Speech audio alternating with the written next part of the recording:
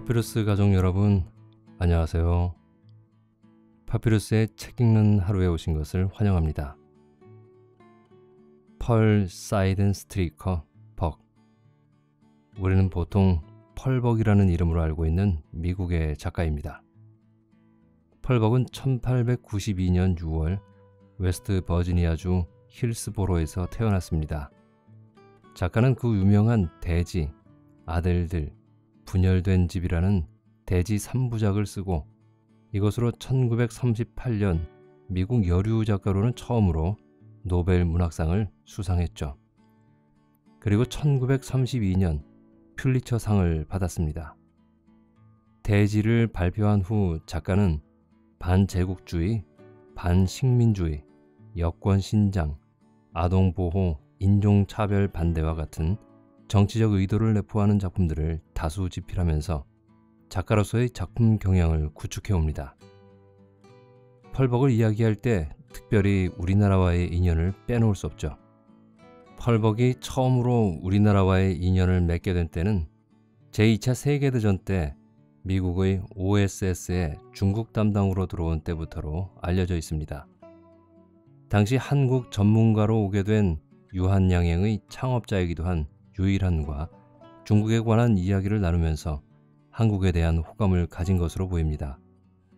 유일한의 아내가 중국계 미국인인 호미 리였는데 유일한도 숙주나물 통조림 제조회사인 라초이 식품회사를 운영하면서 중국의 녹두 장사와 거래한 경험이 있기 때문에 두 사람은 서로의 관심사가 잘 통했던가 봅니다. 나중에 펄벅은 자신의 작품 중 하나에서 주인공의 이름을 김일한으로 했는데 이것은 유일한과의 인연 때문이 아니었나 싶습니다. 다만 1910년대 남경의 금능대학에서 영문학을 가르칠 때 그의 제자로 여운형과 엄항섭이라는 인물이 있었는데요. 아마도 그 전부터 이미 한국에 대한 관심은 많이 가졌으리라고 보여집니다. 인연이란 참 우리가 알 수 없는 부분에서 연결되기도 하는군요. 이렇게 우리나라와 많은 인연을 토대로 한국에 대해서도 깊은 이해를 가지고 있던 펄벅에게 여기에 관한 케네디 대통령과의 유명한 일화가 있습니다. 케네디 대통령은 노벨상 수상자들을 대상으로 백악관에서 만찬을 벌였었는데 펄벅 앞에서 주한미군 이야기를 하면서 주한미군에 너무나도 막대한 세금이 들어가고 있기 때문에 옛날처럼 일본이 한국을 지배 통치했으면 좋겠다는 생각을 말했다고 합니다. 그러자 펄벅은 그것은 마치 미국이 옛날 영국의 식민지로 돌아가자는 말과 같은 말이라면서 응수했다는 일화는 정말 유명하죠. 이렇듯 우리나라와 여러 면에서 연결점을 가지고 있는 펄벅의 작품을 이번에 하나 더 읽어드릴 수 있게 되어서 기쁘게 생각합니다. 이번에 읽어드릴 소설도 심혈을 기울여서 준비해봤습니다. 펄벅의 단편소설 언어를 넘어서입니다. 이 작품은 펄벅의 단편소설집 12가지 이야기에 수록된 단편소설로서 중국인인 군인이 어느 날 자신의 상관이 미국으로 갈 때 통역을 해줄 부관으로 같이 가자는 제안을 받습니다. 그리고 그는 자신만을 바라보며 기다리겠노라 다짐하는 아내만을 남겨둔 채 부푼 가슴을 안고 미국으로 떠나게 되죠. 그리고 그곳에서 그는 어떤 새로운 인연을 만나게 된다는 이야기입니다. 펄벅 작가의 작품답게 이야기의 전개가 전혀 지루하지 않기 때문에 이 작품을 감상하시는 여러분들에게 짧은 시간 동안이라도 푹 빠져들게 할 만한 드라마를 보여드릴 것입니다. 저와 같이 재미있게 감상해 주세요. 시작할게요. 구독과 좋아요, 알람 설정은 좋은 컨텐츠 제작에 큰 힘이 됩니다.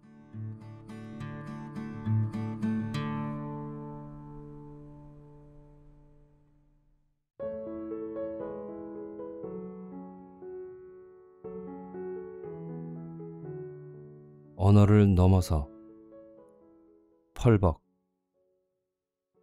나와 미국으로 떠날 준비를 해.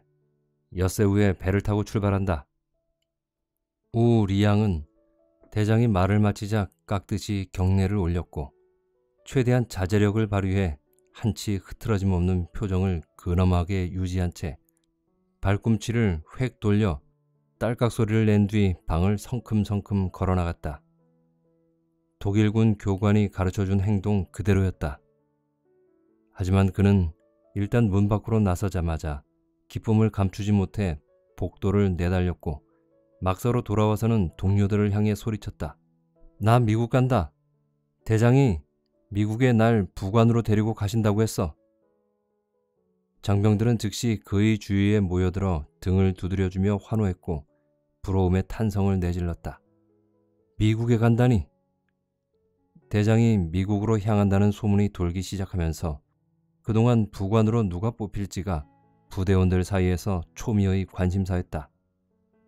사실 가장 유력한 후보들조차도 자기가 가게 되리라고 확신하지 못했는데 그것은 이 여행이 사실상 대장 주도하에서 진행되는 것이 아니었기 때문이다. 말하자면 이번 여행은 정부에서 내리는 포상 휴가에 가까웠고 물론 또 다른 전투를 계획하기 전 잠시 숨을 돌리라는 아량이기도 했다. 또 달리 이야기하면 대장 스스로 선호하는 구실, 즉 미국의 사회적, 경제적 조건을 연구하라는 정부의 임무를 받든다는 명분도 있었다. 보잘것없는 집안 출신에 변변한 교육도 받지 못한 성질급한 대장은 근래 중국에서 추진하고 있는 현대적 정부의 개념을 절대 이해하지 못하고 있었다. 나는 전쟁을 할 만한 곳이다 싶으면 바로 저질러 버리지. 그는 단호하게 말했다. 실제로 그는 언제나 혈혈단신으로 조용히 팔을 걷어붙이고 전쟁을 일으켰는데 일본이라고 예외는 아니었다. 비록 전쟁에 패배하면서 정부로 하여금 대외적 사죄와 배상금을 물게 하는 등 큰 문제를 일으켰지만 대중적 인기가 상당했기 때문에 체포되어 참수형에 처하는 일 같은 건 역시나 벌어지지 않았다. 대신 대통령은 그에게 다음과 같이 말했다. 휴가를 다녀오게. 아니, 미국의 임무를 수행하기 위해 가는 거지. 정부에서 모든 경비를 댈 테니 1년 동안은 돌아올 생각 말게. 일이 이렇게 되면서 우 리양과 그의 동료들은 몇 주 동안 흥분 상태에 놓여 있었다. 생각뿐이기는 했지만 사실 리양은 자신이 가게 되리라고 거의 확신 가까운 믿음을 가졌다. 왜냐하면 그는 대장의 영어를 담당하는 분신이었기 때문이다.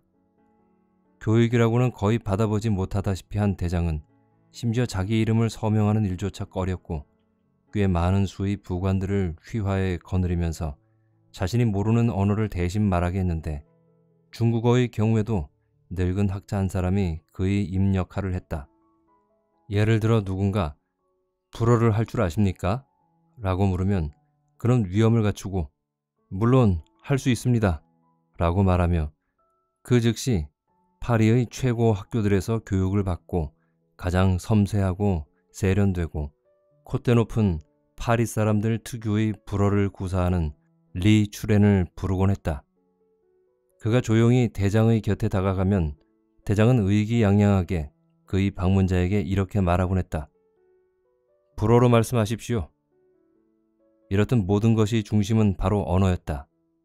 고로 대장은 미국으로 휴가를 떠나게 됐다는 이야기를 처음 듣자 곧바로 미국인들은 어떤 말을 쓰는가? 라고 물었다. 그리고 그들이 영어를 사용한다는 말을 전해 들은 대장은 차분하게 대답했다.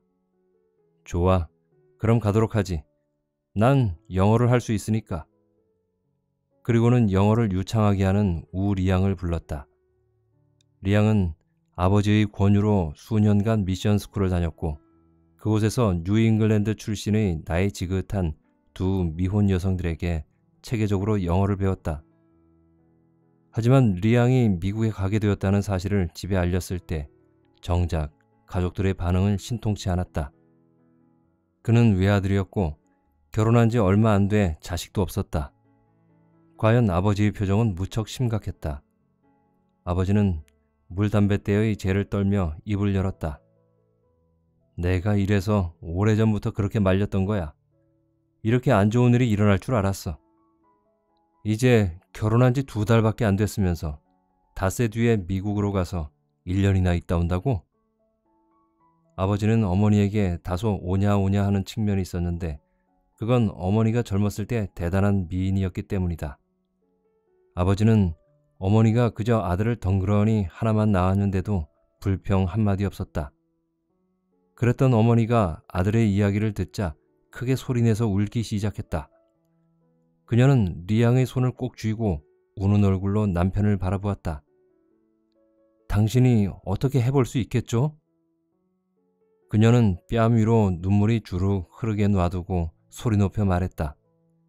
지금까지 그녀는 매번 그 눈물 어린 아름다운 얼굴로 남편을 향해 이 비슷한 대사를 줄곧 해왔고, 그러면 남편은 즉각 이렇게 답하곤 했다. 그럼, 그럼, 어서 울음을 그쳐요. 그 예쁜 아몬드 눈이 못나 보이잖아. 하지만 이 순간 아버지는 단지 어머니를 넌지시 바라보다가 물담뱃대의 노쇠로 된 관 부분 쪽으로 시선을 떨구었다. 뭔가 문제가 있어. 그가 투덜거렸다. 사실 몇 년 전부터 아내의 우는 모습은 예전만큼 아름다워 보이지 않았다. 또 그녀의 눈을 바라봐도 더 이상은 그리 마음이 동하지 않았다. 하지만 그는 좋은 남편이었기 때문에 한편으로는 습관상, 한편으로는 그녀를 진정시키기 위해 다음과 같이 말했다. 그래, 여보. 한번 알아봐야지. 하지만 대장들을 상대하는 건 무척 힘든 일이요. 그들은 여자들하고 똑같아. 자신들의 방식에 익숙해져 있지. 이 말에 아내는 새로이 다시 울음을 터뜨릴 준비를 하고 있었다. 해보겠소. 그가 평온하게 말했다. 그러니 이제 그만해요. 할 수 있는 데까지 해볼 테니. 티엔트신 지역의 이름난 은행가로 장군들 사이에서 꽤 영향력 있는 리앙의 아버지는 드디어 와인 빛깔의 공단 옷을 차려입고 새로 구입한 개중 가장 멋진 승용차를 타고 아들을 붙잡아 두려면 대장에게 얼마나 돈을 써야 할지를 알아보기 위해 길을 나섰다. 그리고 3시간 뒤에 집으로 돌아온 그는 다소 황당스러운 표정으로 고개를 저었다. 대가를 언급하지 않는 장군이라고는 난생 처음 보았기 때문이다. 장군이 그러더군. 그가 아내에게 말했다. 자기는 영어라고는 못하고 또 알아듣지도 못하기 때문에 리앙을 데려가지 않을 수 없다고 말이오. 하지만 리앙의 아버지는 아들이 서둘러 인력거를 타고 좁은 골목길을 세차게 내달려 대장에게 미리 도착해 아버지가 찾아와서 무슨 부탁을 하더라도 절대 마음을 바꾸지 말아달라고 거듭 간청했다는 것을 모르고 있었다. 리앙은 대장에게 전 지금껏 살아오면서 늘 미국에 가고 싶었습니다. 라고 아주 솔직하게 말하는 대신 전 장군님을 따라가 보필을 하고 싶습니다. 동료들 중에 저만큼 미국 언어를 잘 구사할 수 있는 사람은 아마 없을 겁니다. 저를 놓아두고 가신다면 장군님께서는 몹시 불편해지시는 거죠. 미국인들은 아주 영악해서 타지에서 온 장군님을 철저히 이용하려 들 겁니다. 심지어 우리들도 그렇지 않나요? 그들이라고 다를 건 없겠죠. 게다가 미국인들이 다른 나라 사람들보다 특히 더 멍청할 리는 없지 않겠습니까? 라고 일사천리로 말했다. 그래서 장군은 리앙의 아버지가 간곡히 설득하는 3시간 내내 지치지도 않고 고개를 가로저었다. 금을 내놓겠다는 제안은 물론 솔깃했지만 그 젊은 부관의 말로는 미국인들이 그렇게 영악하다고 하지 않았는가? 그래서는 안 되지. 그는 반드시 미국 언어를 이해할 수 있어야만 했다. 그래서 그는 결코 뜻을 굽히지 않았다. 그러나 리앙은 자신의 젊은 아내와 처음으로 이에 대한 이야기를 나눌 기회를 갖게 된 어느 날 밤, 자신이 옳은 결정을 내렸는지 새삼 의문스러워졌다. 그는 아내에 대해 거의 아는 것이 없었다. 두 사람의 결혼은 그가 어렸을 때 양친의 주도하에 이미 예정되어 있던 것이었다. 게다가 결혼 뒤에도 낮에는 좀처럼 아내와 얘기를 나누게 되지 않았고 그녀 자체도 대화 나누기가 쉽지 않은 여자였다. 아내는 대대로 내려온 가풍 있는 시골 집안 사람이었는데 그녀의 가문은 훌륭하기는 했지만 너무 구식이어서 그녀를 보고 있노라면 마치 천년 전 사람처럼 느껴질 정도였다. 그녀는 구식 여자들이 받들어 모시던 규율들을 철저하게 준수했다. 예를 들어 그가 아버지와 어머니가 계시는 방에 들어가면 아내는 방에서 물러났다. 또 두 사람만 있을 때가 아니면 절대 입을 열지 않았기 때문에 그는 곧잘 그녀의 존재를 잊어버리곤 했다. 실제로 그는 그녀가 집안에 함께 살고 있는지 정말 자기 아내인지조차 제대로 느껴본 적이 없었다.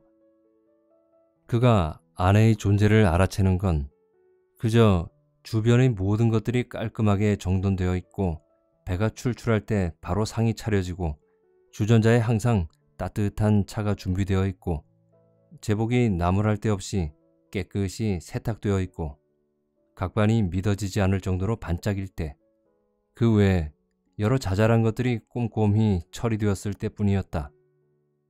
어떤 하인을 고용해도 이 정도로 완벽하게 해낼 수는 없을 것 같았다. 심지어 밤중에 두 사람만 있을 때도 그녀는 결코 먼저 입을 여는 법이 없었다. 반드시 그가 뭔가를 물어봐야만 했는데 그럴 때면 그는 무슨 말을 건네야 할지 막막하기만 했고 그래서 이 비슷한 말을 생각해내야만 했다. 좋은 하루 보냈소?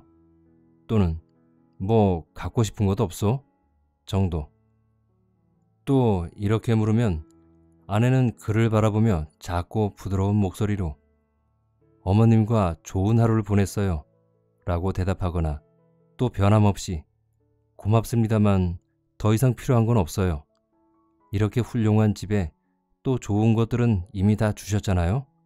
라고 말했다. 그래서 이후로는 그도 더 이상 물어볼 게 없었고 그녀도 입을 열 일이 없었다. 그러나 오늘 밤 놀랍게도 그녀는 남편이 방에 들어서자 먼저 말을 꺼냈다. 그는 늦은 시간에 귀가를 했고 다소 취해 있었다. 동료들이 그를 축하하기 위해 회식 자리를 마련하는 바람에 그들과 함께 꽤 마셔댄 것이다. 돌아오보니 아내는 옷을 갖춰 입고 침대 발치에 앉아 그를 기다리고 있었다. 그는 매우 놀라워하며 아내를 바라보았다. 희미한 촛불 아래 아내의 모습은 조금 흐릿해 얼굴이 잘 보이지 않았다.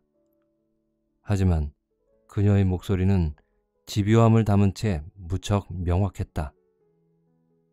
당신은 늘 제게 물으시죠? 또 같은 질문을 계속 반복하시죠? 뭔가 갖고 싶은 게 있냐고요. 그러자 그가 놀라워하며 답했다. 그래서 내가 그렇게 물으면 전 늘 그러죠. 모든 걸 다 가지고 있다고요. 음, 그럼 정말 다 가지고 있는 거로군. 그는 조금 젠체하며 말했다.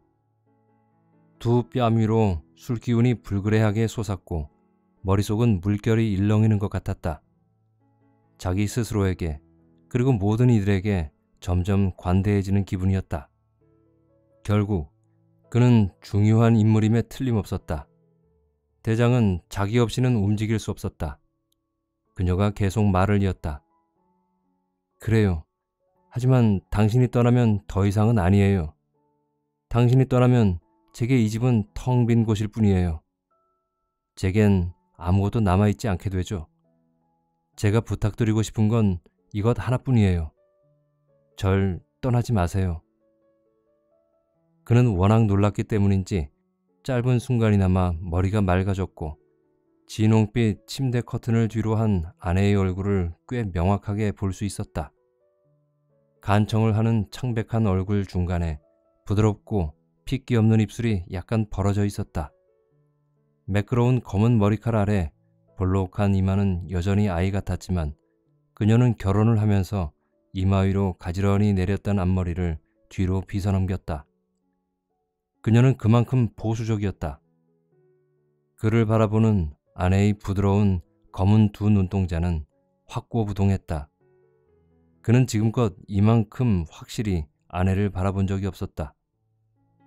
그러다 다시 아내의 모습이 희미해졌다. 그가 휘청거리며 의자를 찾는데 애를 먹자 아내가 재빨리 그를 부축했다. 난 아무렇지도 않... 그는 중얼대며 아내가 방금 물어온 내용을 머릿속에 떠올렸다. 이거 참 묘한 일이야. 그가 의자 위에서 몸을 제대로 가누려고 노력하며 목소리에 힘을 주어 말했다. 삶에서 내가 추구하는 게 뭔지를 막 깨닫게 되는 순간에 당신이 그런 부탁을 하다니 말이야. 그랬군요. 아내가 낙담한 듯 주눅든 목소리로 말했다. 하지만 그는 내뱉었던 말을 마무리 짓지 못했다. 갑자기 졸음이 밀려들었기 때문이다. 정말이지 분주했던 하루였다. 길고도 즐거운 저녁 시간이었다. 그는 자신이 무슨 말을 했는지, 무슨 말을 하려 했는지 정확히 기억할 수 없었다. 그는 머리를 가슴께로 힘없이 수그렸다. 그러자 누군가 자신을 일으켜 침대로 비틀거리며 옮겨갔다. 그러고는 이리저리 뒤틀린 팔과 다리를 가지런히 펴주고 따뜻하고 부드러운 손길로 이불을 덮어주었다. 아침에 눈을 뜬 그는 원기를 회복했고 분주하게 나갈 채비를 했다. 나흘 내에 준비를 끝내야 했다. 새 제복도 한 벌, 아니 적어도 두 벌은 필요했다. 미국 재단사는 당연히 중국 제복 만드는 법을 알지 못할 테니 말이다.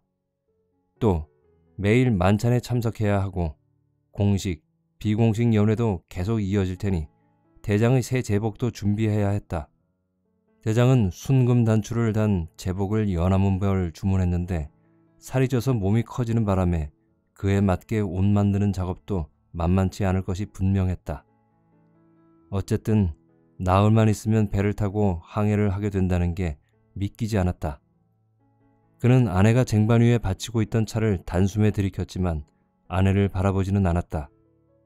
지난밤에 잠시 이야기를 나눈 건 기억했지만 내용은 생각나지 않았고 생각해 볼 겨를도 없었다.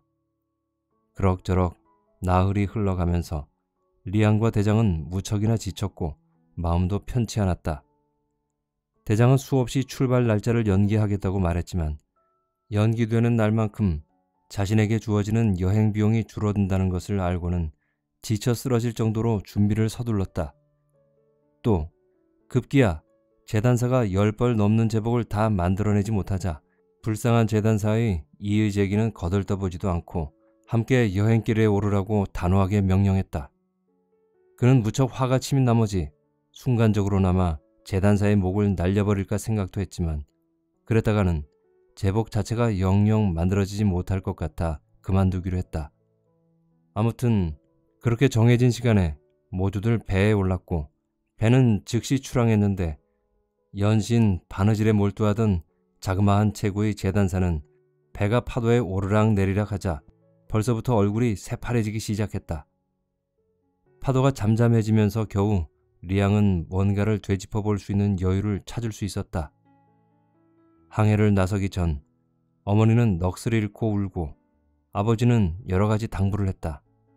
미국 음식은 먹지 말고 독성이 있는 미국 술도 입에 대지 말고 동거래는 두 번 이상 찬찬히 살펴보고 하고 무엇보다 외국 여자들하고는 누구와도 이야기를 나누지 말라고 했다. 또 그는 작은 몸집의 아내가 헤어지면서 그의 손을 잡으며 했던 말도 상기했다. 당신이 돌아오기 전까지 전 죽은 몸이에요. 하지만 이 말이 무슨 의미인지 헤아려 볼 시간은 없었다. 왜냐하면 대장이 항해를 시작하면서부터 줄곧 배멀미를 하고 낮이고 밤이고 늘 그를 옆에 대기시켰기 때문이다. 리앙은 왜 선장이 대장의 몸 상태가 좋아질 때까지 배를 멈추지 않는지 이해할 수 없었다. 결국 그는 정말이지 뭔가를 생각해 볼 틈이 없었다. 그렇게 거의 단번에 또는 느낌상으로만 단번에 그들은 미국에 도착했고 역시 정신 차릴 틈도 없이 꼬리에 꼬리를 물고 일정이 이어졌다. 대장이 반드시 거쳐야만 하는 신문 기자들과의 인터뷰 일정이 차례로 잡혀 있었기 때문에 리앙은 낮에는 숨가쁘게 장군을 대신해 듣고 말해야 했으며 저녁 시간에는 길게 이어지는 파티에 참석해 미소를 띠고 있는 장군 옆에 서서 그를 대신해 발언하고 그에게 쏟아지는 모든 말들을 중국어로 통역해야만 했다. 또 그는 기차표도 여러 장 사야 했다.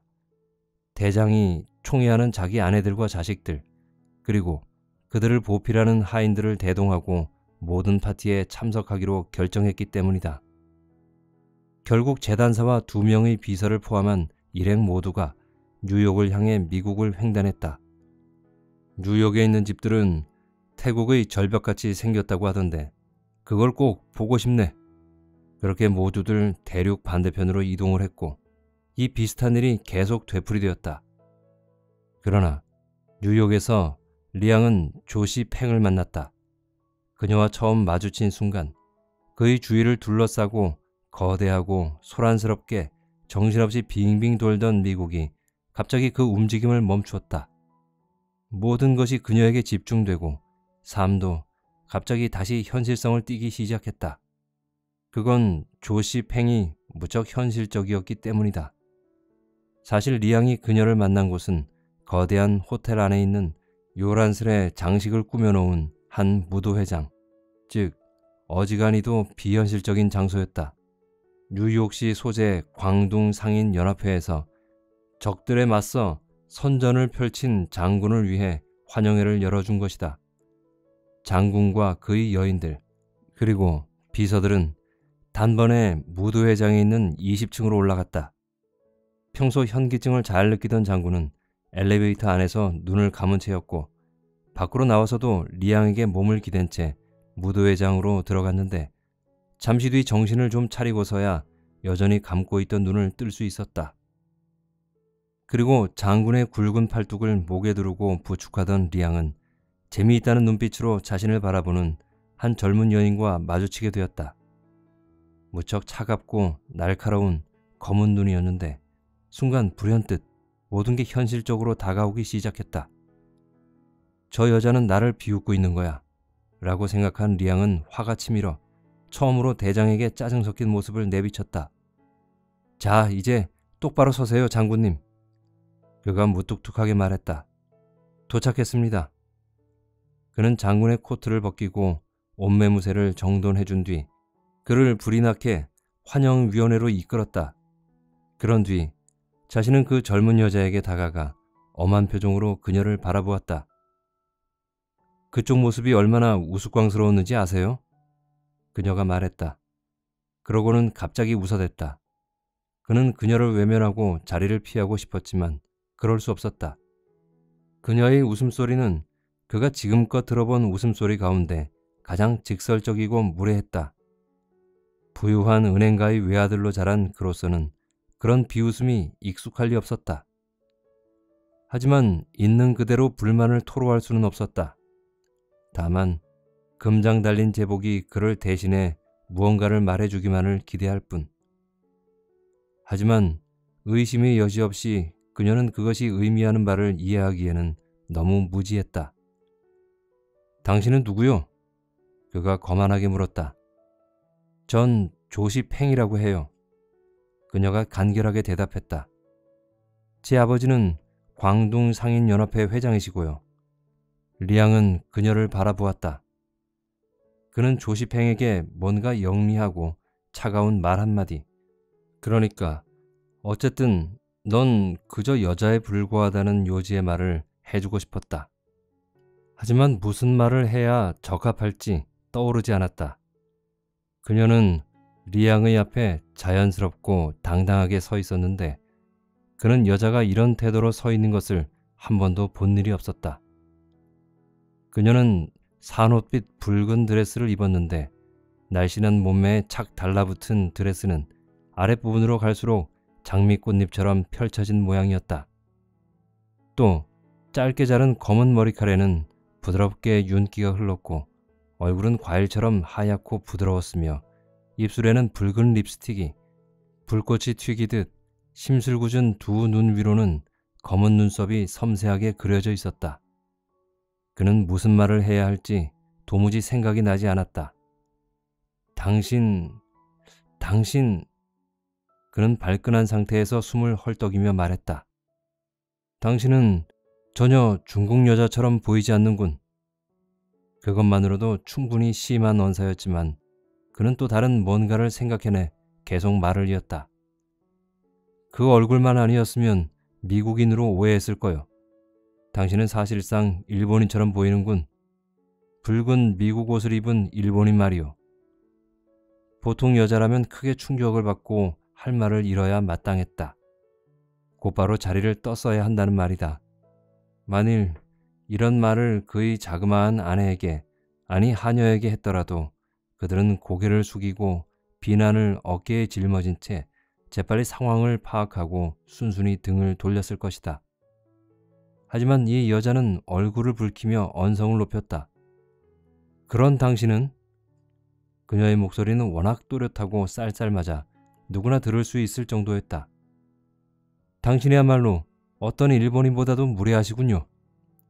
두 사람은 아연 실색한 표정으로 서로를 물끄러미 바라보았고 마치 약속이라도 한 듯이 부랴부랴 각기 자리를 피했다. 하지만 장군 일행이 가는 곳마다 조시 팽이 보였다. 저녁 식사 자리를 가보면 항상 그녀가 있었는데 그녀는 늘 거기서 무언가를 진행하고 있었다. 이를테면 사람들은 메뉴 때문에 혼란이 생기거나 어느 자리에 앉아야 할지 모르는 상황이 벌어질 때마다 이렇게 말하곤 했다. 조씨는 어디 있지? 조씨 팽에게 물어보세요. 그녀가 다 맡아서 한 거니까. 리앙은 어디든 모습을 드러내는 조시팽을 대하는 일에 점점 지쳐갔다. 어느 날 밤, 조시팽은 대장의 연설 일정이 잡혀있던 차이나타운에서 베풀어진 한 성대한 만찬장에 금빛 드레스를 입고 나타났다. 옷은 부드러운 외국 옷감으로 만들어진 것이었는데 목 부분이 중국 옷처럼 높게 올라가 있어 왠지 리앙의 마음을 끌었다. 그는 다른 남자들이 그녀를 바라볼 때 그 젊음의 생기 넘치는 부드러운 목과 가슴 부위가 드러나는 게 못마땅했다. 물론 그날 밤 그녀가 당당하게 나서 장군의 연설을 통역하지만 않았더라도 그녀가 어떤 옷을 입었는지 따위를 세세히 살펴보지는 않았으리라. 사실 그 사건은 리앙에게는 꽤나 수치스러운 일이었다. 일은 이렇게 시작됐다. 차이나타운에 있는 중국인들은 거의 장군의 연설을 이해하지 못하는 것 같았는데 그들은 광둥 지역 출신들인 반면 대장은 산둥 출신이었기 때문이다. 산둥 사람들은 폭죽을 터뜨리듯 혀끝으로 말을 내뱉는 광둥 사람들과는 달리 성대를 울리며 굵은 목소리로 발음을 한다. 그리고 이 때문에 곤란한 상황이 발생했다. 대장은 청중들에게 일본군을 상대로 어떻게 싸웠는지 얘기해 주려 하고 사람들도 몹시 그 이야기를 듣고 싶어 했지만 서로의 말을 전혀 알아들을 수 없었다. 대장은 화난 얼굴로 리앙을 돌아보며 소리쳤다. 혀를 좀 굴려봐. 안 되겠어? 하지만 리앙은 장군님, 저도 장군님과 마찬가지입니다. 조상님들이 대대로 산둥 지역에서 살아왔기 때문에 저도 제 혀를 어쩔 수가 없습니다. 라고 답할 수밖에 없었다. 그래서 대장과 사람들은 그저 서로를 당황스러운 눈빛으로 바라보고 있는데 이윽고 누군가 크게 소리쳤다. 조씨, 조씨팽은 어디 있지? 그러자 그녀가 군중들 틈에서 앞으로 나섰다. 리앙은 마치 금빛을 바라는 별처럼 사람들 틈에 서 있던 그녀를 진작 알아본 터였지만 짐짓 처음 보는 것처럼 행동했다. 그녀는 침착하게 말을 꺼냈다. 장군님께 당신한테 말씀하시라고 하세요. 그럼 제가 당신이 말하는 영어를 듣고 여기 사람들이 쓰는 말로 옮길게요. 결국 세 사람은 사람들 앞에 함께 섰고 이윽고 장군은 자신의 용맹스러운 무용담을 늘어놓기 시작했다. 부하들을 어떻게 매복시켜 적들을 후미에서 공격했는지, 적들을 사방에서 압도했던 과정들을 흥미진진하게 쏟아냈다. 그러면 리앙이 그의 말을 영어로 옮겼고 조씨가 마치 스스로가 장군이라도 된 것처럼 열정과 기지를 동원해 그것을 신속하게 광동말로 옮겼다. 흥분한 사람들은 환호를 하며 박수갈채를 보냈고 장군은 시종일관 즐거운 표정으로 땀까지 흘려가며 멋지게 이야기를 풀어냈다. 이야기가 마무리되고 사람들의 축하 인사를 받고 난 뒤 장군이 리앙에게 목쉬인 소리로 조그맣게 조시팽의 행방을 물었다. 그 젊은 여자는 어디 있지? 이제껏 내가 만나본 처녀들 중에서 가장 똑똑하더군. 찾아서 내게 데려오게. 나한테 아무리 여자가 많아도 그런 여자는 없지. 리양은 이제껏 장군이 어떤 여자들을 거느리고 있는지 따위에는 관심이 없었다. 그 여자들은 아무 상관이 없었던 것이다. 하지만 장군의 말을 듣자 왠지 심장을 한 대 맞은 것 같은 느낌이었다. 물론 장군은 그의 몸에 손끝 하나 대지 않았지만 말이다. 뭔가 달랐다. 바로 장군이 그녀에게 관심을 보이는 게 마뜩지 않았던 것이다. 장군이 말했다. 그녀를 데려오게. 그러자 리양은 마지못해 몸을 일으키며 투덜댔다. 그 여자가 어디 있는지 제가 어떻게 합니까? 장군은 놀란 눈빛으로 리양을 바라보았는데 이제껏 리양이 그런 식으로 목소리를 높이는 것을 들어본 적이 없었기 때문이다. 가서 찾아봐. 장군을 성을 내며 말했고 리양이 자리를 뜰 때까지 근엄한 표정으로 그를 지켜봤다. 물론 리앙은 조시가 어디 있는지 정확히 알고 있었다.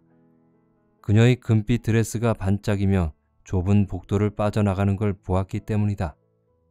잠시 후 리셉션 홀의 문을 열자 혼자 앉아 자그마한 금장 담뱃대를 들고 담배를 피우고 있는 조시의 모습이 보였다. 안녕하세요. 그녀가 쾌활하게 말했다. 리양은 자리에 앉았다. 바로 용건을 말해야 했다. 장군님이 부르십니다. 라고 말이다. 하지만 그럴 수 없었다. 대신 그는 뚱한 목소리로 이렇게 말했다. 어떻게 두 가지 언어를 모국어처럼 다룰 수 있는 거요? 둘 다 모국어예요. 그녀가 미소를 지으며 말했다. 아버지는 중국인이고 제가 꼬마였을 때 돌아가신 어머니는 미국 분이었죠. 사실 중국인처럼 생기지 않았다고 생각했어. 그가 무례하게 말했다. 그는 조 씨가 절반은 미국인이라는 게 무척 반갑게 느껴졌다. 그녀를 그리 좋아하지 않았던 이유가 바로 그거였다. 그녀는 거리에서 쉽게 마주칠 수 있는 여느 미국 여자들처럼 자신감으로 가득했고 일처리도 똑소리가 났다. 그는 조 씨의 대답을 듣기도 전에 불쑥 자리에서 일어나 대장에게 돌아왔다. 찾지 못했습니다. 그는 거짓말을 했다. 음, 그렇군. 대장이 한숨을 내쉬며 말했다. 다음 기회에 만날 수 있겠지. 나이 든 사람들은 기다릴 줄 아는 법이지. 리양은 속으로 말했다. 다음 기회는 없을 겁니다.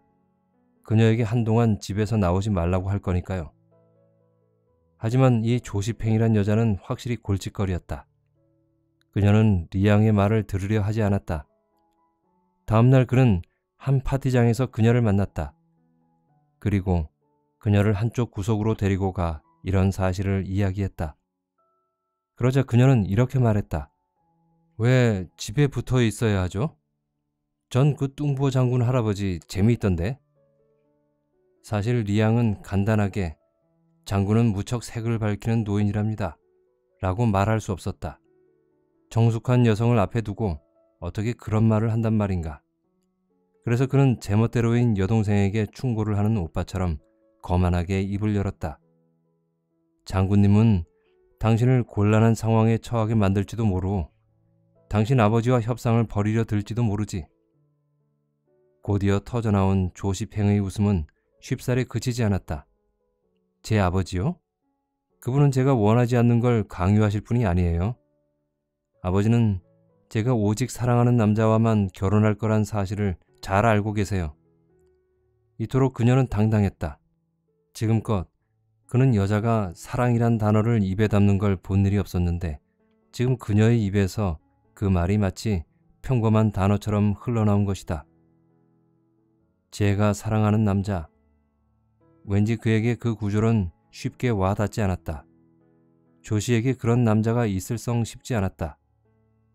그 남자는 누구요? 그가 다그쳐 물었다. 그녀는 미소를 띤 채 짓궂고도 당당한 표정으로 그를 바라보았는데 이렇게 교태를 머금은 매혹적인 얼굴로 그를 바라본 여자는 정말 조시가 처음이었다. 갑자기 머릿속이 어질어질해진 리앙은 품위 있게 몸을 돌려 성큼성큼 뒤돌아섰다. 왼발, 오른발, 왼발, 오른발. 예전 교관이 가르쳐준 대로 발을 힘있게 움직였다. 장군이 짜증 섞인 목소리로 물었다. 어젯밤에 봤던 그 젊은 여자는 대체 어디 있는 거야? 아무래도 아까 본 것 같은데. 오늘은 같은 옷을 입고 있질 않아서 확실치가 않아. 이에 리양이 차갑게 대답했다. 전 못 봤습니다. 이곳에 없는 것 같습니다. 그러나 그 순간 그의 가슴 속은 불꽃처럼 뜨겁게 타오르고 있었다. 리양이 자그마한 몸집의 구식 아내를 떠올리는 건 오직 밤에 혼자 있을 때 뿐이었다. 낮 시간은 눈코 뜰 새 없이 바빴고 조시 팽을 볼 수 없으면 어쩌나 하는 걱정 또 대장이 그녀에게 다시 눈독을 들이면 어떡하나 하는 근심 때문에 요즘 리양은 세찬 바람에 휘둘리는 소나무처럼 야위어가고 있었다. 대장이 그녀를 거의 잊었을 즈음에도 조 씨는 여전히 리양을 난감하게 만들었다. 그녀의 행방이나 그녀가 무슨 일을 하고 다니는지 전혀 파악할 수 없었던 것이다. 리양은 조 씨가 하는 모든 일, 모든 행동들을 두고 사사건건 그녀와 말다툼을 벌였다. 말다툼의 원인들은 대다수 그녀가 지나치게 대담하거나 발랄하다는 것, 또는 그녀의 옷이 그의 마음에 들지 않는다거나 아니면 너무 자유분방하게 남자의 손을 잡고 교양 없는 서구식 악수를 한다거나 또는 자신이 손을 내밀었는데 즉각 반가워하며 손을 잡지 않았다는 것 등이었다. 그는 조 씨가 밉고 영 못마땅했지만 왠지 그 얼굴을 잊을 수 없었고 결국은 자신이 그녀를 사랑하고 있다는 것을 깨달았다. 그는 하루 종일 조 씨만을 생각했고 밤이 되어 아내가 떠오르면 자기 자신에게 단호하고 냉정하게 이렇게 말했다. 결코 나 스스로 그녀를 선택한 건 아니야. 요즘 같은 시대에 부모의 뜻대로 살 필요는 없지. 그렇게 그는 구식 아내에 대한 생각을 머릿속에서 걷어냈고 고국으로 돌아갈 날만을 손꼽아 기다렸다. 얼마나 시간이 흐른 걸까? 지금껏 기억에 남는 건 갑자기 대장의 몸에 이상이 생겼던 일뿐이었다. 1년은 오래전에 지나가 버렸다. 그는 미국의 냄새가 대장을 병들게 만들었다고 생각했다. 어디서든 풍겨오는 고기와 우유 냄새. 그게 아니라면 아마 대장에게는 낯설기만 한 미국의 물 또는 중국인의 천성에 맞지 않는 토양이 이유일지도 몰랐다. 어쨌든 이 미국에서는 프라이팬 위에서 딱딱하게 구운 빵조차 또는 마늘을 듬뿍 넣은 돼지고기 요리 아니 어떤 먹을 만한 음식도 구할 수 없었다.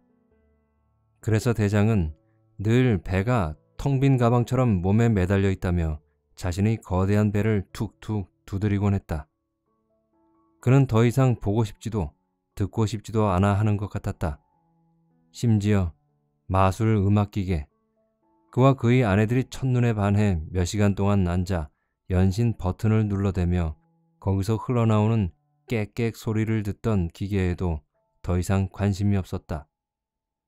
다 똑같은 소음뿐이야. 대장이 우울하게 말했다. 나는 전사야. 돼지고기와 마늘을 먹고 어딘가 전장으로 나가지 않으면 진정한 내가 아닌 거지. 이젠 칼을 허리에 차는 것도 힘들 정도야. 혁대가 흘러내릴 지경이니 말이야. 결국 리양은 모든 일행의 귀한 비행기 티켓을 사지 않을 수 없었다. 하지만 재단사만은 돌아가기를 거부했다. 이렇게 떨어져 있고 보니 고향에 있는 마누라가 얼마나 잔소리가 심한 여자였는지 깨달았다는 것이다. 미개한 땅에서 평생 망명자 꼴로 살아도 마누라한테 돌아가는 것보단 나을 것 같습니다. 그는 이렇게 말했다. 그리고는 차이나타운에 가게를 하나 마련해 진열장에 대장의 제복 한 벌을 걸어 놓았다. 자신의 솜씨를 선보여 일감을 얻기 위해서였다. 저분은 제가 돌봐드릴게요. 여기서 살게 해주세요. 조시팽이 리양에게 말했다. 순간 그는 자기가 지금 조시팽을 뒤에 남겨두고 떠나려 한다는 사실을 불현듯 깨달았다. 하지만 당신은 누가 돌봐주고 그가 소리쳤다. 그는 지난 여러 날 동안 그녀를 꾸짖고 돌봐왔지만 결코 사랑한다는 말은 하지 않았다. 그는 측은한 모습으로 더듬거리며 그녀에게 말했다. 나, 나 역시 아내가 있어. 나도 결코 돌아가고 싶지 않아. 결코. 그럼 당신이 원하는 게 뭐예요? 조씨 팽이 차분하게 물었다. 당신을 떠나고 싶지 않아. 어려운 일 아니네요. 조씨 팽이 말했다. 재단사는 알아서 자기 몸 돌보라고 하고 전 당신과 함께 가겠어요. 점점 중국 해안이 가까워지면서 리앙에게 조시팽은 더더욱 미국 사람처럼 느껴졌다. 미국에서는 중국인처럼 보였고 사랑하는 감정을 품고부터는 더 그랬다. 아마도 뉴욕 거리의 미국 여자들과 현격히 대비가 되어서였는지도 모른다. 어쨌든 간에 그는 조씨의 눈이 무척 까맣고 비록 곱슬거리게 모양을 냈긴 해도 본래의 머리카락은 직모라는 것을 알고 있었다. 하지만 상하이에서 조씨는 이상하게 눈에 띄었다. 여기서 그녀는 눈과 머리칼은 여전히 흑색이지만 피부는 불그스레하게 보였는데 특히 창백한 중국 여자들과 함께 있으면 더 이국적으로 보였다. 게다가 지나칠 정도로 하늘하늘한 중국 여자들과 비교할 때 그녀의 어깨는 딱딱하고 허리도 조금 두꺼웠다. 머리를 곧게 펴면 안 되겠어? 어느 날 그가 침울하게 말했다. 어머니가 탐탁지 않게 여기실 거야. 조씨가 그를 바라보았다. 그녀의 눈에 번뜩하고 뭔가가 스치고 지나갔지만 그는 그것을 눈치채지 못했다. 그는 앞으로의 일을 생각하자 문득 두려워지기 시작했다. 집으로 돌아가 나이든 아버지와 어머니께 자기는 부모님이 택해주신 자그마한 구식 아내 대신 조 씨를 원한다고 말씀드려야 했다. 뉴욕에 있을 때는 이런 얘기도 어렵지 않을 거라고 생각했다. 그저 당당히 집 안으로 들어가 전 이미 결정을 내렸습니다. 그건 이렇게 얘기를 꺼낼 작정이었다. 하지만 티엔스틴 교회에 위치한 늘 변함없는 고향집에 사흘 뒤 도착할 무렵이 되자 왠지 그런 말 같은 건 도저히 꺼낼 수 없을 것처럼 느껴졌다. 당신 어머니께서도 내 머리 모양은 내가 원하는 대로 할 수 있다는 걸 인정하셔야 해요. 조씨가 차분한 목소리로 말했다. 리앙은 그녀를 바라보며 참 부당한 언사라고 생각했다. 지금 그녀는 상하이에 있는 그녀의 한 삼촌집에서 깔끔한 현대식 의자에 등을 기대고 앉아 있었다. 상하이에는 그녀의 삼촌들이 여러 명 살고 있었는데 모두 부유하고 친절했으며 격식을 차리지 않았다. 조 씨는 삼촌들에게 그를 소개할 때도 역시 격식을 생략하고 가볍게 소개했다. 이쪽은 우리양 씨예요. 제가 결혼할 뿐이죠. 앞으로 맞닥뜨려야 할 쉽지 않은 시간들을 고려해 볼 때 리양의 눈에 그녀의 태도는 지독히도 가벼워 보였다. 그러나 그에게는 어찌할 수 없는 문제 하나가 있었다. 모두들 단번에 그가 조씨와 특별한 관계라는 걸 알아차렸지만 그가 이미 결혼한 사람이라는 사실은 아무도 몰랐다. 물론 결혼 같지 않은 결혼이긴 했지만 말이다. 사실 그런 옛날식 혼사는 제대로 된 결혼이라고 하긴 어려웠고 그래서 조 씨는 끊임없이 다음과 같이 말하곤 했다. 그녀에 대해 아는 게 없었다면서 어떻게 결혼을 할 수 있었죠? 때론 이렇게 말을 하기도 했다. 당신이 그녀를 사랑하지 않고 그러니까 나를 사랑한다면 그는 이 같은 조 씨의 즉흥적이고 가벼운 말들이 귀에 거슬렸고 그럴 때면 다음과 같이 뻣뻣하게 쏘아붙이고 싶어졌다. 내가 정리만 제대로 하면 우린 곧 결혼할 수 있어. 하지만 물론 그런 말을 내뱉을 수는 없었다. 그는 때때로 자기가 조씨를 조금은 두려워하는 게 아닌가 생각하기도 했다. 그는 조씨가 부드러운 곡선을 그리고 있는 머리를 검은색과 흰색의 격자무늬 천을 씌운 각진 의자 위에 기대고 편안하게 앉아 있을 때마다 항상 여러 이야기를 해주고 싶었지만 막상 아무 말도 하지 않았다. 그리고 상황이 이렇다 보니 억누르는 것이 습관이 되어 마음이 편치 못했는데 그것은 그에게는 정말이지 낯선 경험이었다. 고향집에서 그는 늘 하고 싶은 이야기를 마음껏 했고 가족들은 귀를 기울여 주었다. 그는 뭔가 이야기를 하기로 결심한 듯 침울한 표정으로 조씨를 내려다보았다. 그는 이렇게 말할 생각이었다. 내 아내는 중국 여자다워야 해. 그건 내가 중국인이기 때문이지. 그리고 중국의 풍습에 따라 내 아내는 어머니의 말에 순종해야 해. 그러나 이 말을 꺼내기도 전에 조씨가 웃음을 터뜨렸다. 난 아무래도 상관없어요. 그녀가 웃으며 말했다. 너무 심각한 표정 짓지 말아요. 나도 생각해 봤는데 머리를 매끈하게 쭉 펴는 게 더 어울릴 것 같기도 해요. 뉴욕에 있는 친구 하나도 머리를 그렇게 했는데 괜찮았거든요. 그녀는 벌떡 몸을 일으켜 그의 팔짱을 끼었다. 우리 영화 보러 가요. 결국 그는 그 말을 꺼낼 필요가 없게 되었다. 요즘 조 씨는 이런저런 일들에 대해 그가 화를 내기 바로 직전 그 문제를 아주 쉽게 포기하는 것처럼 굴었는데 진짜 포기한다는 느낌은 들지 않았다. 단지 그때 그때 그가 뭔가 이야기하려는 걸 막기 위한 방편쯤인 것 같았다. 하지만 리앙으로서는 그녀의 진심을 알 길이 없었으므로 그저 조 씨가 자신을 달래고 비위를 맞추도록 그냥 내버려 두었다. 정말 조 씨는 꽤 나긋나긋한 연인이었다. 리앙은 어둠 속에 앉아 함께 영화 보는 걸 좋아했다. 그럴 때면 조 씨는 어느 틈에 슬며시 그의 손을 잡아왔다. 조 씨가 그에게 처음 키스를 했던 날. 그러니까 무도회가 끝나고 아무도 없던 연회장에서의 일이었다. 리앙이 조 씨에게 코트를 입혀주려고 할 때 조 씨는 그에게 입맞춤을 하고는 웃음을 터뜨리며 말했다. 다음번에는 영화를 보면서 포옹 장면을 잘 보고 배워요. 여자하고 한 번도 키스해 본 적이 없다고는 않겠죠? 중국판 클라크 게이블처럼 생긴 사람이 말이에요. 물론 창피하게 키스해 본 적이 없다고 솔직하게 말할 수는 없었다. 그래서 다음번엔 그가 클라크 게이블이 어떻게 하는지 제대로 살펴보았다. 그러나 조시에게 키스를 할 때면 왠지 외국 풍습을 따라하는 듯한 기분이 들었다. 입맞춤을 할 때마다 얼굴이 붉어지고 마법에 빠져드는 듯 했으며 피가 뜨거워지고 소용돌이 쳤지만 사실 조씨를 품에 안고 있는 건 그 자신이 아니었다. 그건 사실상 클라크 케이블이었다. 리앙 스스로는 그런 행동을 할 위인이 못됐다.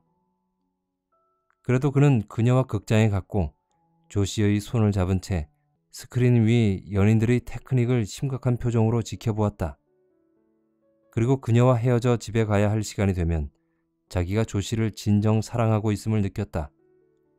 그는 그녀와 헤어지고 싶지 않았다.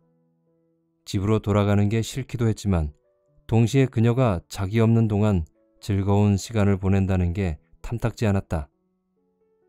그녀의 삼촌 집에는 곱상하게 생긴 사촌들이 수두룩했고 서구식 옷을 맵시 있게 차려입은 젊은 친구들도 수시로 드나들었다. 그는 앞뒤 없이 역 앞에서 그녀의 손을 잡아 끌었다. 장군의 복장을 한 누군가가 볼 수도 있었고 자신이 모시는 장군이 직접 자가용 창문으로 목을 내밀고 이 장면을 목격할 수도 있었다. 안녕, 내 사랑. 그가 더듬거리며 말했다. 이제 딱 열흘 남았어. 딱 열흘. 조씨가 쾌활하게 답했다. 그녀는 자신에게 아주 잘 어울리는 부드러운 회색 면 소재 정장 차림을 하고 있었는데 어깨 쪽에 큼지막한 노란색 중국 국화 한 송이가 핀으로 달려 있었다. 삼촌들 가운데 가장 나이 든 삼촌 한 분이 국화 전문가로 명성이 자자했던 것이다. 열차가 빠져나가는 동안 리앙은 최대한 오랫동안 그녀를 응시했고 그녀 역시 그가 자취를 감출 때까지 밝은 표정으로 그를 바라보았다. 그는 낙담해서 장군의 차가 있는 곳을 향해 골목길을 따라 내려갔다. 그는 그녀가 지금 신나는 파티장으로 돌아가고 있다는 것을 알았다. 사촌들 중에 하나가 생일을 맞이했기 때문이다. 그는 조씨가 흥겨운 파티장을 빠져나와 자신을 보러 왔다는 사실은 까맣게 잊고 대신 맵시 있는 젊은 청년들을 떠올리며 절박한 심정으로 굳게 결심했다. 부모님에게 솔직히 털어놓으리라. 하지만 그 일은 생각했던 것보다 훨씬 힘들었다. 어머니는 눈물 주머니를 터뜨리더니 연신 훌쩍거렸고 아버지와 아들은 잠옷 심각하게 문제를 직시했다. 그는 한 발자국도 물러서지 않고 같은 주장만 계속 되풀이했다. 전 이미 마음을 먹었습니다. 그녀와 결혼할 거예요. 이 집을 떠나거나 제 이름까지 포기할 각오가 되어 있습니다. 그녀를 위해서 이 정도는 감수할 수 있습니다. 아버지는 뒷짐을 진 채 구식 벨벳 신발 차림으로 벽돌 마루 위를 쿵쿵거리며 왔다 갔다 하다가 걸음을 멈추고 아들을 바라보았다.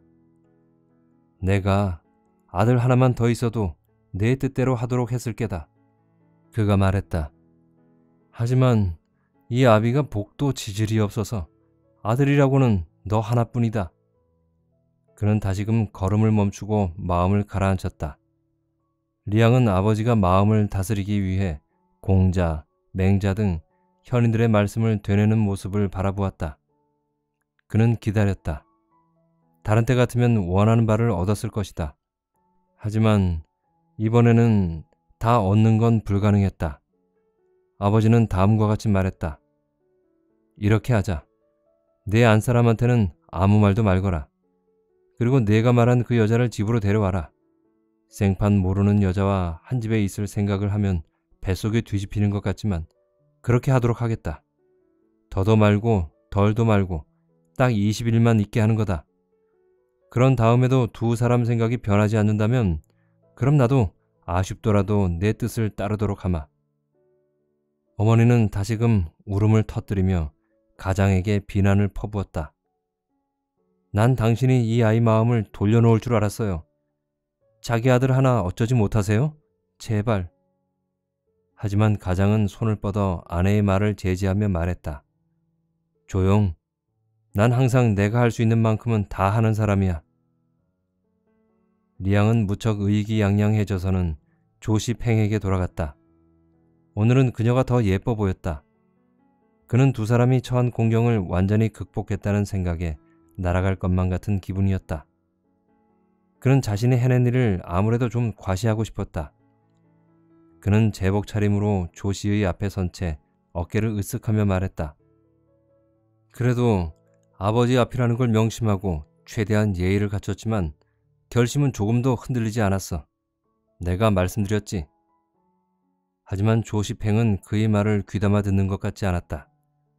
그녀는 유심히 리앙을 바라보다가 그의 말을 가로막았다. 아버지께서 날더러 집으로 와서 20일 동안 살라고 하셨다고요? 응. 그런 다음엔 우리가 원하는 대로 해주시겠다고 했어. 우리가 원하는 대로 해주시겠다. 그녀의 목소리와 딱딱하게 굳은 표정이 왠지 불안하게 느껴졌다. 조 씨가 문득 그럼 집에 있는 다른 여자는요? 라고 묻지는 않을까 불현듯 걱정이 되기 시작했다. 그가 무척 빠른 속도로 말을 시작했다. 그래, 이건 거의 동의를 받아낸 거나 마찬가지라고. 20일이 지나도 우린 변함이 없을 테니까. 그는 클라크 케이블식으로 몸을 숙여 그녀에게 키스했다. 조씨가 자기에게 뭔가 묻는 것을 원치 않았기 때문이다.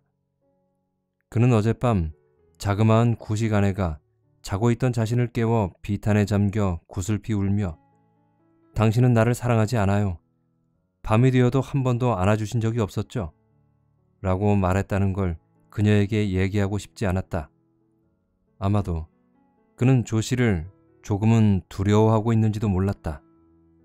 하지만 그녀는 그가 입맞춤을 하게 놓아둘 뿐 아무것도 묻지 않았다. 그는 몸을 다시 세우며 조금은 절박한 표정을 지어 보였다. 이제 무얼 하면 좋을까? 우리 영화나 보러 가지? 그가 기운을 내며 말했다. 사기를 북돋는 데는 영화가 최고일 것 같았다. 좋아요. 조시팽이 말했다. 하지만 생기 없는 목소리였다. 최소한 그에겐 그렇게 느껴졌다. 만일 대장이 갑자기 전쟁을 구상하지 않았더라면 일이 어떻게 진행되었을지 리앙도 가늠할 수 없었을 것이다. 봄이 되자 장군은 피가 들끓기 시작했고 여자들에게도 무료함을 느꼈으며 외국 여행을 하고 와서인지 집 안뜰에서 보내는 시간들이 따분하게 여겨졌다. 거기에 정부마저도 그의 이른 귀국을 못마땅해 하고 있는지라 늘 초조하고 안정을 못 찾던 대장은 결국 기분 전환도 하고 마음의 짐도 덜어내고 끌어오르는 피에게 출구를 마련해 주기 위해 머릿속에 전쟁을 떠올렸다. 하지만 가진 것이 없었던 그는 새 도로를 닦는다는 구실로 외국 은행으로부터 자금을 빌렸고 외국인과 협상을 벌이기 위해 리앙을 호출했다. 결국 리앙은 조씨를 집으로 데려가자마자 대장에게 불려가야 했는데 때로는 한 번에 2, 3일씩 집을 비울 때도 있었다. 외국인들은 협상에 무척 신중했고 또한 대장을 신뢰하지 않았기 때문에 일정은 계속 늦춰졌다. 또 리앙은 대장이 그것 때문에 분을 사귀지 못하고 있을 때면 그를 위로하는 역할까지 맡아야 했다. 그는 일을 하면서도 내내 집중할 수가 없었다. 집에 있는 조 씨가 부모님과 별 문제 없이 지내고 있는지 걱정됐기 때문이다. 그러나 장군이 성질을 잠시 죽이고 잠을 자거나 휴식을 취하는 사이 짬을 내어 집에 들러보면 언제나 집은 의외로 조용했다. 놀라운 일이었다. 조 씨는 안뜰에서 책을 읽고 있거나 모란꽃을 키우는 테라스에서 서성거리거나 때론 하인의 아이들과 놀아주고 있었다. 그녀는 조금도 변함이 없었다. 머리는 여전히 물결치듯 출렁이었고 미국식 옷을 입고 있었으며 식구 누구도 광둥어를 할 줄 몰랐으므로 아무 말도 알아듣지 못하고 있었다.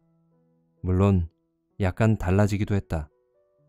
그녀는 리앙이 자신의 몸에 손대는 것을 허락하지 않았다. 심지어 둘만 있을 때에도 리앙이 손을 뻗으면 움츠리며 웃는 얼굴로 고개를 저었다. 아니에요. 여기서는 왠지 안 이러는 게 좋을 것 같아요. 그러면 그는 강요하지 않고 잠잠해졌는데 언제라도 하인이나 부모님이 들이닥칠 수 있고 그렇게 되면 몹시 난처해질 게 뻔했기 때문이다. 하루하루 지날수록 그녀는 점점 더 손님처럼 지내게 되었지만 부침성은 여전했다. 그의 어머니가 어떻게 물결 모양 머리칼을 만들었냐고 묻자 조 씨는 리앙에게 모발 기구에 대해 설명을 해준 뒤 어머니한테 통역을 해달라고 부탁했다. 또 비록 말은 통하지 않았지만 그의 아버지에게 극도로 예의 바르게 행동했다. 리앙은 두 사람이 서로 호의를 베푸는 모습을 보며 무척 희망적인 기분이었다. 그는 열성적으로 아버지에게 다음과 같이 말했다.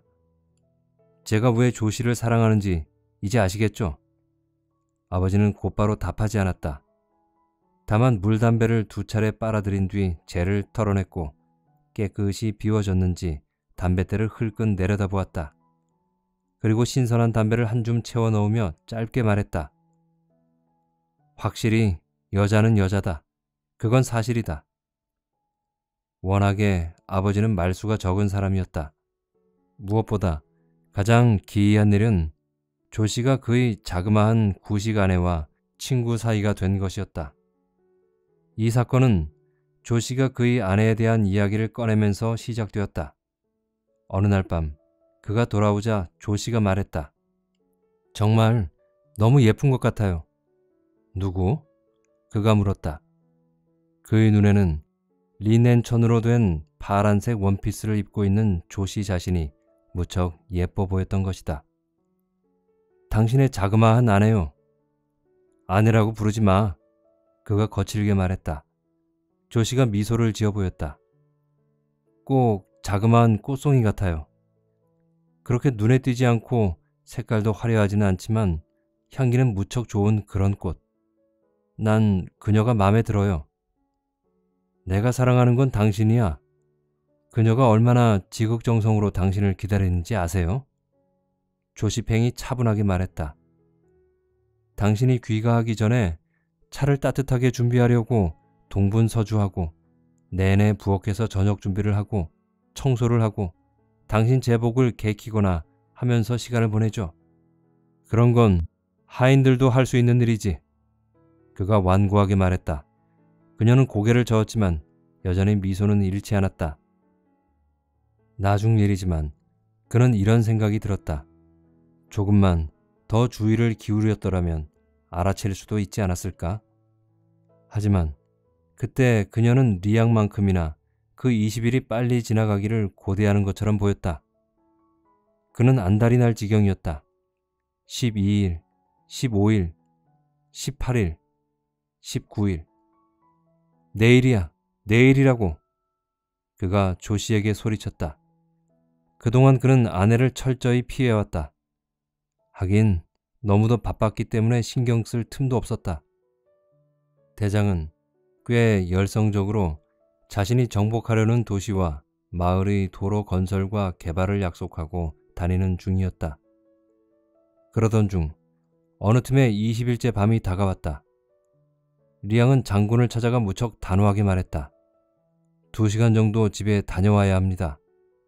대장은 크게 노여하며 그를 뚫어지게 바라보았지만 그는 필사적으로 덧붙였다. 허락하지 않으신다면 대장님을 모시는 일을 그만둘 수밖에 없습니다. 하지만 이제 대출금이 막 들어오는 시기였기 때문에 대장으로서는 리양이 없으면 안 되는 상황이었다. 그래서 내키지 않아도 승낙을 할 수밖에 없었다. 알았으니까 그만하게. 대신 늦지 말고 제 시간에 돌아와야 해. 집으로 돌아가자 아버지, 어머니, 그리고 조 씨까지 모두들 그를 기다리고 있었다. 아버지는 그 전에 자그마한 며느리에게 이렇게 일러두었다. 오늘 밤엔 친구 집에 놀러 가거라. 얼굴이 너무 어둡고 창백하구나. 내 아들 녀석을 한두 시간 정도만 까맣게 잊어버리고 내 또래 가정주부들하고 즐거운 시간을 보내도록 해라. 그녀는 그다지 내키지 않았지만 결국 시아버지는 며느리를 구슬려 그의 두 번째로 근사한 자가용을 태워 떠나보냈다. 리앙이 몸을 돌려 대문으로 들어서는데 조시가 그를 바라보며 서 있었다. 그녀는 자기 옷들 가운데 가장 미국적인 옷을 입었고 머리는 웨이브를 새로 만들었으며 화장까지 하고 있었다. 그리고 리앙은 조시가 지금까지 본 어떤 여자보다 화려하게 꾸미고 있었음에도 그녀가 따뜻하게 미소를 지어 보이자 듬성듬성 난 수염에 반쯤 가려진 작고 조용한 미소로 답했다. 그는 조씨라는 여자는 말하고 싶은 바가 있어도 굳이 그것을 입 밖으로 낼 필요가 없는 여자라는 걸 알았다. 그녀는 모든 걸 이해하고 있었다. 그는 아내에게 가서 말했다. 남자 하인에게 한 시간쯤 후에 제일 좋은 차를 문 앞에 대기시키라고 일러둬. 그러고는 아내가 뭘 물어볼 겨를도 주지 않은 채 바로 자리를 떴다. 이제 리앙은 가족들 모두가 기다리고 있는 가운데 방으로 들어왔다.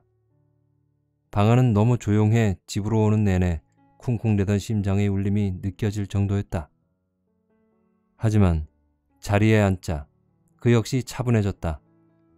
그는 깔끔한 흰색 제복 차림으로 부모님과 조 씨를 따뜻한 시선으로 바라보다가 다시 두려움이 솟기 전에 재빨리 입을 열고 큰 소리로 말했다. 아버지, 이제 20일이 지났습니다. 그래. 물담뱃대와 담배 주머니를 손에 쥐며 아버지가 말했다. 약속하신 대로 이제 우리가 원하는 대로 하겠습니다. 그렇게 하려무나. 아버지는 무척 세심하게 담배 피울 준비를 하며 답했다. 그럼 이제 리앙이 힘을 실어 운을 뗐지만 그의 아버지는 조 씨를 향해 고개를 끄덕이며 아들의 말을 끊었다. 조 씨의 의견을 물어봐라. 먼저 들어봐야지. 리앙이 자신있게 미소 지으며 말했다. 저하고 같습니다. 직접 물어보래도 아버지가 말했다. 조 씨는 남자 마음대로 할 수 있는 여자가 아니야. 리앙은 아버지의 비위를 맞추기 위해 미소 띤 얼굴로 조 씨를 바라보았다. 이국적인 옷차림의 그녀는 상체를 곧게 펴고 오래된 붉은색 나무 의자 위에 앉아 있었다. 아버지께서 당신 의견을 듣고 싶어 하셔. 리앙이 영어로 물었다. 내가 모르고 있기라도 한 듯이 말이야. 그는 조씨에게 몸을 기울여 그녀의 눈을 지그시 바라보았다. 부모님에게는 좀 예의 없어 보일지라도 두 사람의 마음이 변함없다는 것을 보여주고 싶었다. 하지만 조씨는 침착하게 그를 바라보았다. 그리곤 마치 어린아이를 대하는 듯한 명확하고 쾌활하고 다정한 음성으로 다음과 같이 말했다. 당신 아버지는 내가 아는 한 가장 현명하신 분이세요. 말씀을 전하세요. 리앙이 깜짝 놀라며 통역을 하자 아버지는 미소를 지으며 가볍게 목례를 했다. 아버님께서 제 의견을 이미 알고 계시지 않느냐고 말씀드리세요. 제 의견은 당신은 여기서 아내랑 사는 게 행복할 거라는 거예요. 안 돼! 그렇게 말하며 리앙은 자리에서 벌떡 일어나 그녀에게 달려갔지만 그녀는 손을 뻗어 그를 제지했다. 그래요, 리앙.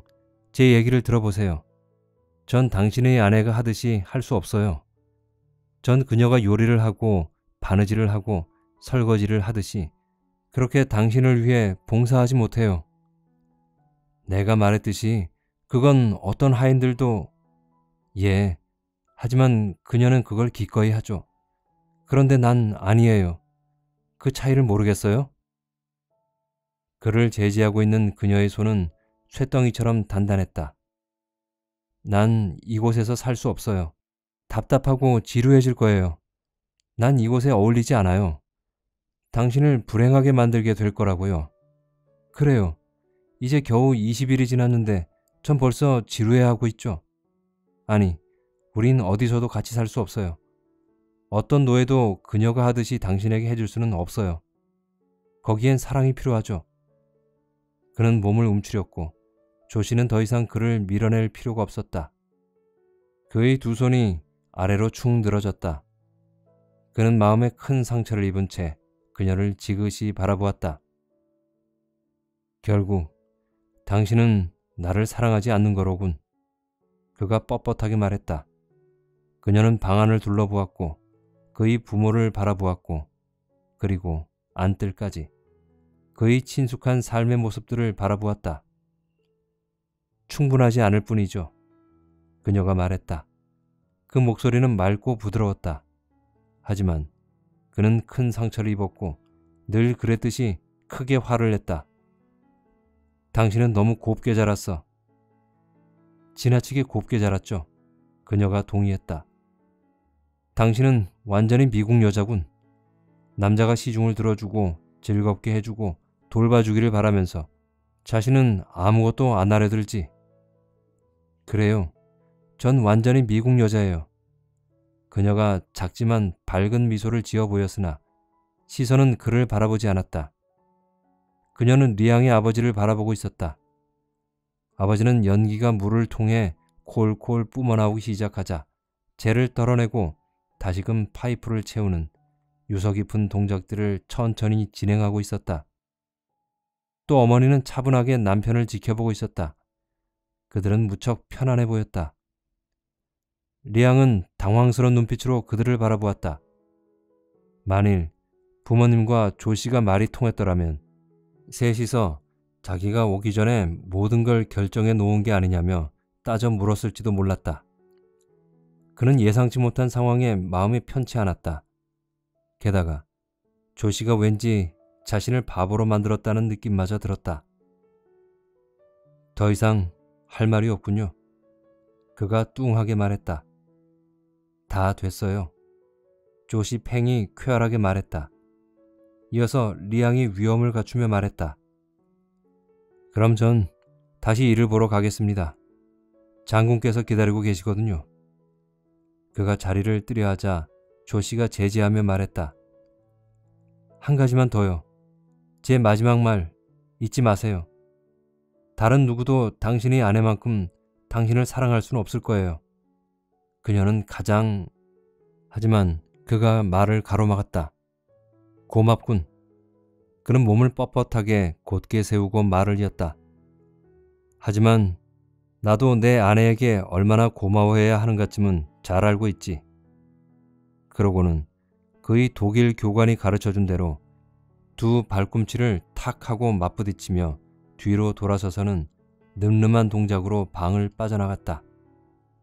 그가 떠나고 나자 아버지는 조 씨에게 그녀가 알아듣지 못하는 북부 지역 중국말로 역까지 바래다 줄 차를 대기시켜 놓았습니다.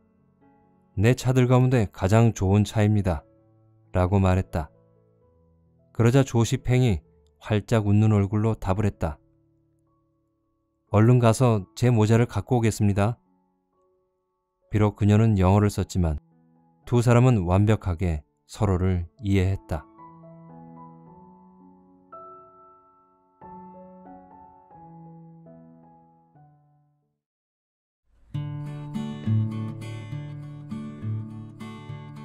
재밌게 들으셨나요? 리앙과 조씨 그리고 리앙의 자그마한 아내 리앙은 자신의 아내가 왠지 모르게 정이 들지 않았습니다.